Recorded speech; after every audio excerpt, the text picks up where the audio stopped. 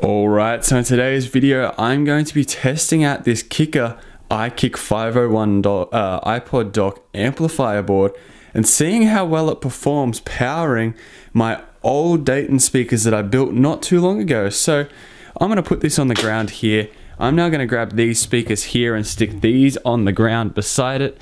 And then what we're going to do is see how well the amplifier is able to power these speakers and see what sort of excursion we can get out of the drivers. So if you're interested in that, stick around because that's exactly what's going to be happening in today's video. Alright, so the first thing to do of course would be to run power to the amplifier board. So I have right here a 12 volt plug and I'm going to plug this straight into the amplifier board and uh, oh it's just lit up so we now have the kicker logo on the iPod dock uh, amp board and as you can see it's ready for auxiliary in so I believe there is a 3.5 mil socket what looks to be on this part of the amplifier board just here. So I'm going to go and grab that right now plug a 3.5 mil in hook the speaker wire up to the speakers just here and see how this thing performs. Alright, so I now have the speakers hooked up to the amplifier and I've just played a song through them and oh my god, I should really build something with this combination here. The little Dayton speakers and the amplifier sound absolutely incredible together. It would make for a really, really great portable speaker that's powered.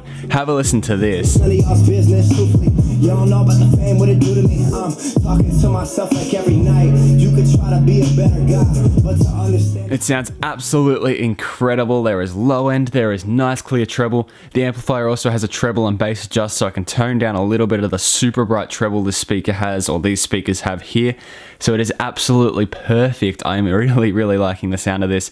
But this wouldn't just be a normal video of mine if I only played with these little speakers. So I'm going to grab some of my bigger towers and test out the amplifier on those and ha see how it performs with those speakers as well. The center speaker sounds pretty sick too.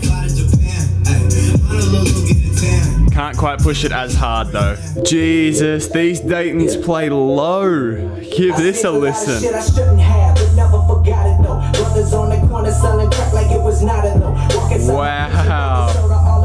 This was always the plan. I might go fly to Japan. On a little look the tan. 30,000 feet. Alright, so I was extremely impressed with the way these things sound. It sounded sick, then it sounded sicker, and oh my god, these things actually play low as well. It is incredible. I'm kind of considering now with these, because in the new place, as I've said, I'm thinking of going DALI. Those I'll probably use in my bedroom. Those I'll probably use in the garage system. And I'm thinking I'm going to probably pull this apart use two of these woofers or four of these woofers, two of the tweeters out of that, the crossovers out of that, and the amplifier here, and make a portable boombox that isn't going to be battery powered. It's going to be uh, powered by this power brick here. But oh my god, some of the sound quality I am getting this morning is ridiculous. L let's hook these big speakers up. Let's see how hard this amplifier can push them because man, I'm getting really, really impressive excursion out of every speaker so far. So let's just see what they can do with you know, four, five and a quarter inch drivers.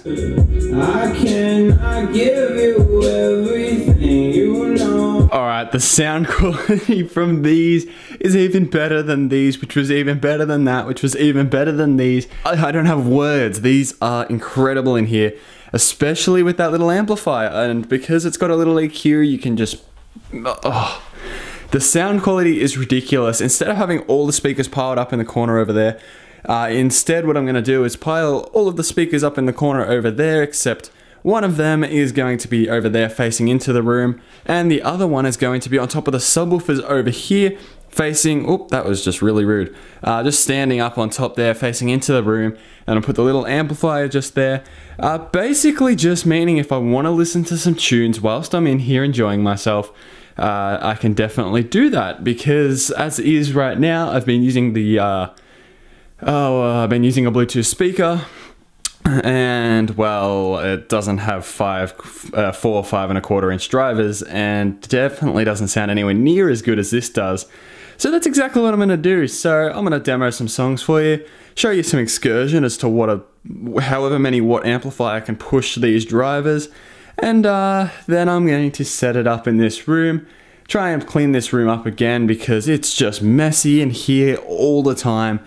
And I'm really trying to keep this room nice and neat, but it's like a work room. All my stuff's in here, all my storage stuff, all my tools, all my everything. So I'm gonna do that now.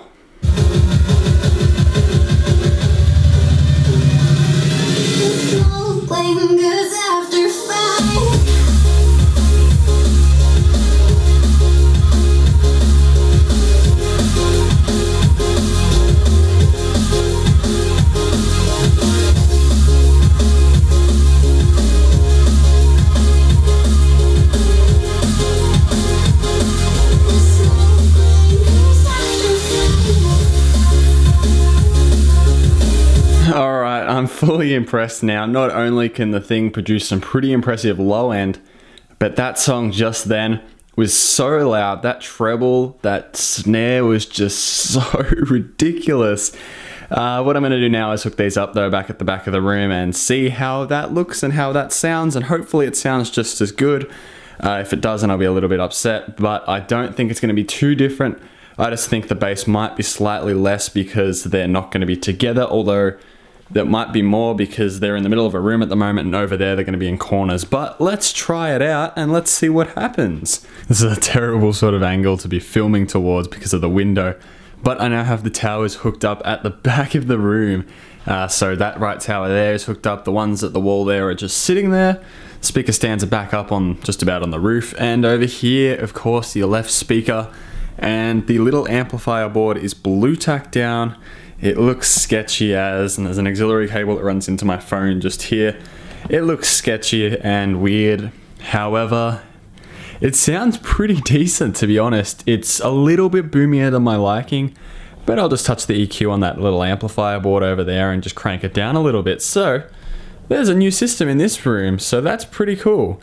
If you guys have enjoyed this video, let me know, because I have certainly enjoyed making it, because it means now when I'm in this room, I've got tunes to listen to. So, with that being said, like the video if you have liked it, subscribe to my channel down below if you haven't already. With that being said, I'll catch you guys in the next one. Hope you enjoyed.